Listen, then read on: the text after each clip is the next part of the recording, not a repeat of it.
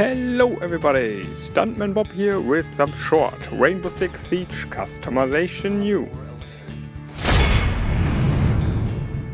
On Twitter we got this official picture from Rainbow Six Esports with this information.